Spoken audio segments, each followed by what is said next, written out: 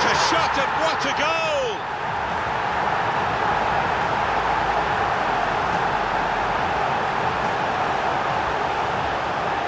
He has absolutely battered that past the goalkeeper. I couldn't believe it when he took on this strike, Martin, but he's connected with it beautifully, giving the keeper no chance.